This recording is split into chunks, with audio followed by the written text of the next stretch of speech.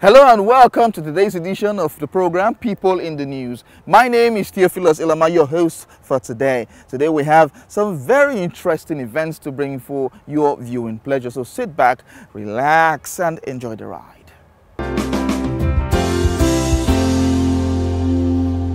Family and friends gathered at the Baptist Church in Lagos to celebrate the life and times of Alice Modupe, who is seen as a mother, a friend, and a mentor. We have some footage from that story.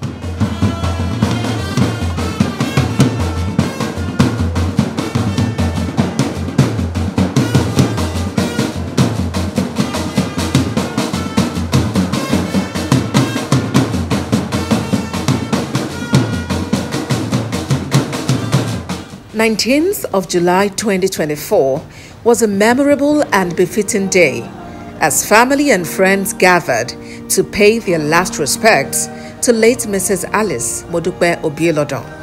The day started with a church service at the Ikoyi Baptist Church, Ikoyi, Lagos State.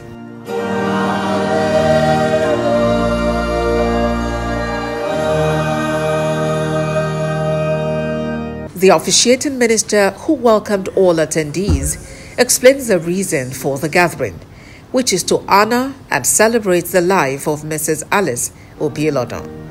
This led to prayer and thanksgiving for a good life spent, and then the Bible readings followed. This corruptible must put on incorruption, and this mortal must put on immortality. So when this corruptible has put on incorruption, and this mortal has put on immortality, then shall be brought to pass the saying that is written Death is swallowed up in victory. For moments like this, tributes and memories are some of the highlights, and this occasion was not an exception, as family members shared unforgettable memories they had with the late Mrs. Obielodan, not leaving out her good deeds on the side of eternity. Mama was a strict disciplinarian who believed in using the rod to lovingly correct us while growing up. When she makes up her mind to flog any of us, there was no way we could escape it. You must receive your beating, but she will ensure you eat her delicious meal even after you have been beaten. Mrs. Alice Obielodan was remembered as a prayer warrior, a heartwarming and lovable person Aside being religious, she was also industrious and hardworking. Kind of spiritual heritage Mama left. Can you imagine Mama saying, Let me not see you in church? Oh, what an heritage. The service also had exhortations by Reverend Dr. Olusegun Adeleke and electrifying musical performances and hymns by the church choir.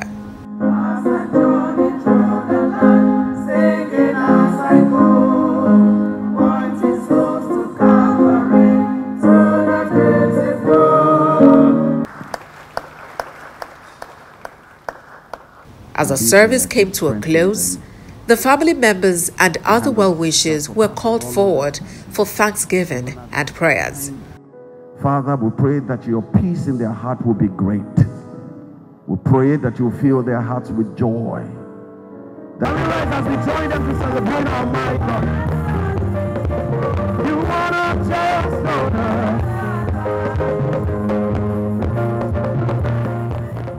The service ended with a processional hymn, and the procession moved to the cemetery where the final rites were performed.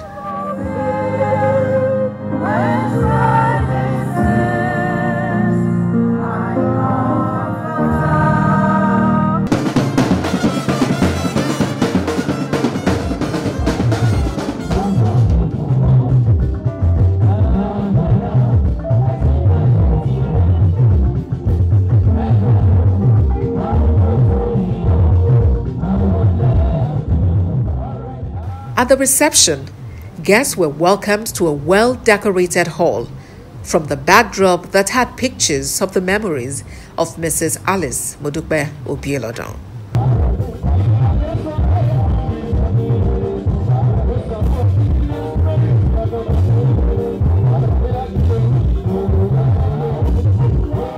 A live band was on standby, filling the hall with melodious rhythms that encouraged many guests to move their bodies as they danced to the rhythm.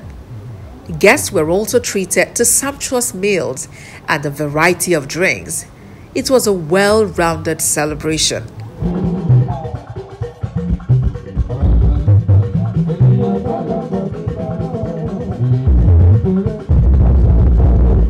Friends and well wishers share their heartfelt condolences to the family. Well, at this time, we condole with the family of Mama who have passed. Our sincere prayer is that God will sustain them. She was a great woman, had six children, all alive. She had seen her grandchildren and her great grandchildren. And we pray that the kind of grace, the blessing, the favor which was on her life will pass on to her children her grandchildren, and her great grandchildren. I don't know Mama much, but the way she has brought up her children, we know that Mama was a Christian, a good Christian. We all brought up Iyabo, who is Deaconess Mary's junior sister. And we have seen from all the children and the grandchildren that Mama brought her children up in God's way. May her soul rest in peace in Jesus' name. Indeed, the impact of a good woman cannot be forgotten as the children and grandchildren of Mrs. Alice Modupe Obielodan recounted more memories of her. Oh, she's a pleasant uh, woman. Um, really pleasant. Uh, I like her because I like good food. And she cooks a lot, you know. so that's one thing I enjoy with her. Uh, been the firstborn too. I was like her pet, always around her in the kitchen. So you can see why I love good food. She's quite a woman of prayer. She prays a lot. She's always believing positively that things will work. When you have issues and you talk to her, she said, Don't worry, God will solve it. So she's a praying woman. Uh, she left that legacy with us. Again, too, she was um, she was able to hold the family. When uh, dad was away on training in the 60s for three years, 62 to 65 in Britain, she was all alone with us, taking good care of us. You know, I cared for Mama longest. She stayed with me very, very long. I think one of the things I cherish so much about her is her prayer life because it has worked for me. It has worked for me even while I had some delays, like child, some delays in life, her prayers had worked. Because my mother is a woman of great faith. When she tells you, I know God will do it, she will hold on tightly. Her faith was unshakable, unshakable faith. Her devotion to God was unshakable. My mother does not toy with anything, anything that would defile, anything that is ungodly she will not joke with it. Her devotion to God, she served God till her last breath. And then she doesn't, Bible says, um, spare the rod and spoil the child. My mother does not spare the rod. She will be quick in beating you, but she will give you so much love and ensure you eat her delicious meal. She cooks very well. And I cook very well. All, in fact, most of us, let me not say all, my mother is highly industrious. She sews, she knits, she bakes, you know. So she really impacted our lives. At an early age, which we became serious with the things of God. Every one of us, we are happily married with our children. I have grandchildren. So I just give all the glory to God. I have a beautiful mother. And I make bold to say my mother was beautiful in and out. Because she has the love of God inside of her. And she manifests it in, you know, through her behavior and the way she impacts people. Lovingly, caringly. Good mother. Most important memory I have about her is she loved God so much. She was so prayerful. She was a pray she was a praying woman. And it's from her I learned how to pray. She would pray for her children and pray and mentioned her children's name one by one when she prayed for us. And it's from there, there I learned how to pray for my children, mentioning their names as well when I pray for every one of my children. So that is the most important thing I the most important memory I had about her. She was very industrious. Very industrious. She was uh, a tailor, not tailor maybe sewing for people, but sewing for us. She was sewing good styles for us. And then she was also knitting. She learned knitting, how to knit. And she was always knitting for every one of us. She would package it and give it as her own gift for each, every one of our children. I have four children. She did everything like that for my children. Well, I believe she's already at the bosom of the of the Almighty, so I don't think I need to pray for her again. But I, I have that belief that she's already resting in the bosom of the Lord. She's a very prayerful woman. She's a warrior, battles in prayer. She's very caring, very loving. She took care of all of us, very prayerful. She brought us up together to know how to pray, um, going to church. She's very loving, she's very loving and caring.